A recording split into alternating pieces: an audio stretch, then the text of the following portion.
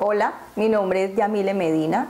Hoy vengo a contarles la historia de mi hija Catrine Castañeda Medina, la heroína del barrio La Villa.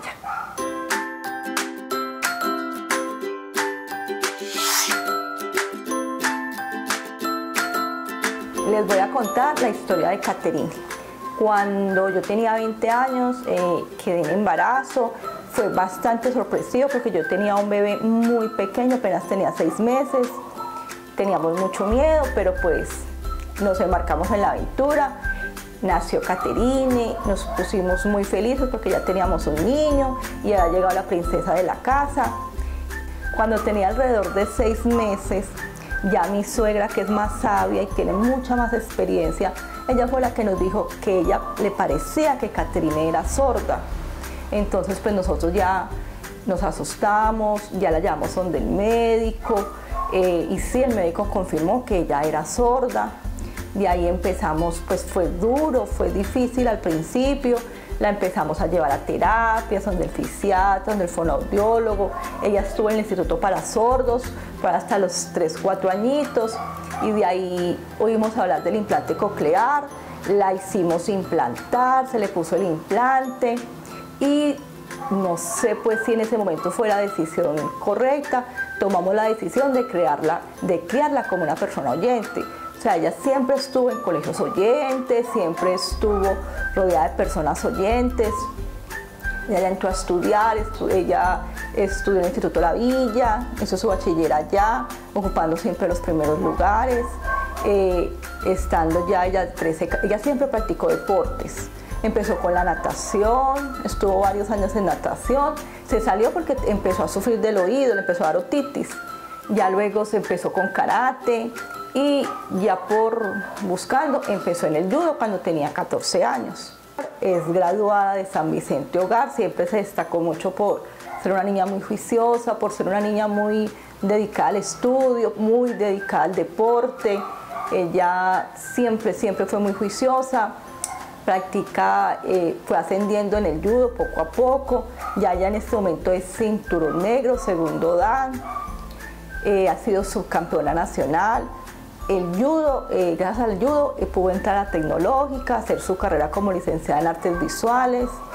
Hoy en día ya ella está dedicada a la pintura, hace poco terminó su carrera universitaria, donde llega ese ejemplo de, disciplina, ese ejemplo de, fortaleza.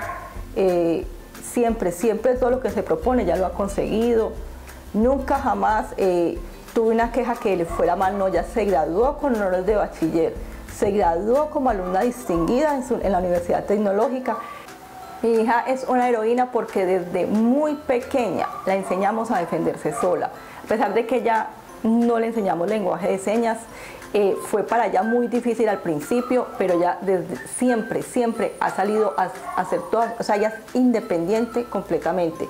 Cuando ha viajado a Bogotá se defiende completamente sola, se presentó ella sola a pedir su cita en la embajada, se ha defendido mucho con la lectura de labios, las personas la entienden, ella se hace querer de la gente, ella se hace entender y ella demuestra su berraquera mostrándole a las personas que a pesar de sus capacidades, ella sabe salir adelante y sabe no depender de nadie. Les cuento, este cuadro lo hizo mi hija, es un desnudo, ella es la modelo del cuadro, ella le encanta pintar los desnudos, le encanta la figura humana, esa es, su especialidad. Ella ha pintado muchos más cuadros, pero pues gracias a Dios los ha podido vender. A las personas les gusta lo que ella pinta y ella hasta ahora está viviendo de su pintura. A pesar de que Catherine llegó por casualidad al judo, se convirtió en una etapa muy importante de su vida. Eh, practicó judo durante nueve años, logró ascender hasta cinturón negro segundo dan. El judo se convirtió en su pasión, en su manera de vivir. Ella llegaba de estudiar una o dos de la tarde y se iba cuatro o cinco horas diarias a entrenar gracias al judo ella llegó a ser subcampeona nacional y esas medallas le dieron la entrada a la tecnológica.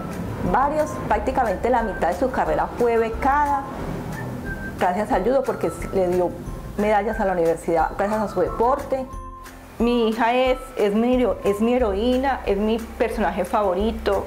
es el amor de mi vida, es la princesa de mi corazón. Me siento súper, súper orgullosa de tener una hija como ella. Ella es mi sueño hecho realidad. No hay nada que yo más quiera que mis hijos y mi hija lo mejor. Te amo. Te amo, mamá. Anoche Catrina y yo hablando sobre el mensaje que queríamos dar es, primero, el deporte, importantísimo. Y segundo, ella como persona sorda quiere decirle a todos los otros sordos que no le tengan miedo al implante coclear, que el implante coclear es lo mejor que pueden hacer las personas sordas para poderse integrar mejor al medio que los rodea, que el implante no duele, que lo dejen de ver como algo malo. El implante coclear es el avance y el camino de los sordos hacia un futuro mejor.